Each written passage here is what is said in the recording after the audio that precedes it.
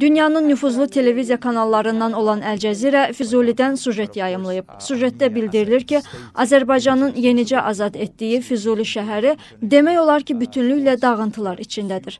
Azərbaycan hökuməti dəymiş ziyanı qiymətləndirmək üçün xarici ekspertləri dəvət edəcək və törətdiyi müharibə cinayətlərinə, vandalizm aktlarına görə Ermənistanı beynəlxalq məhkəməyə verəcək. Reportajda prezidentin köməkçisi Hikmət Hacıyevlə müsahibə də yer alıb. Hikmət Hacıyev deyib ki, bu dağıntılar Ermənistanın Füzulini vandalizmə məruz qoymasının nəticəsidir.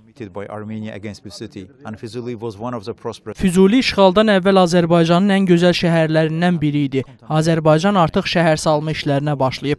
Daha sonra biz Füzuliyə və işğaldan azad olunmuş digər ərazilərə məcburi köçkünləri qaytaracağıq. Beynəlxalq ictimaiyyət bununla da Ermənistanla Azərbaycan arasındakı fərqi görəcək. Ham Ermənistanın dağıdıcı fəaliyyətinin və Azərbaycanın quruculuq işlərinin bir daha şahid olacaq.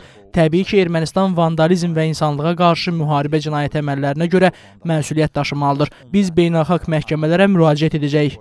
We will continue uh, to appeal international institutions. Hikmət Hacıyev işğaldan azad edilmiş ərazilərdə heç bir infrastrukturun qalmadığını, hətta bir binanın belə olmadığını bildirib. O, bütün bu ərazilərin ermənilər tərəfindən minalandığını diqqətə çatdırıb.